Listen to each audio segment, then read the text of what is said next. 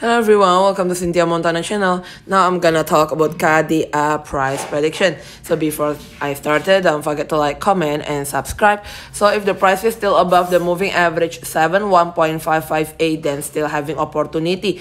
But looking on the stochastic already overbought position right so you have to a little bit attention on the KDA here and this is requested by my subscriber. The daily chart basically also slightly going to the pink one side moving average 25 1.618 US dollar. The one which are like this still on the downtrend line.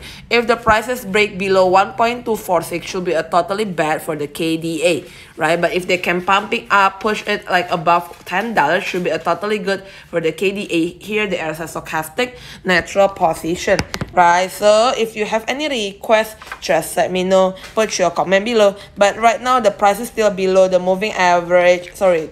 Yes the moving average 7 and also moving average 25 bye bye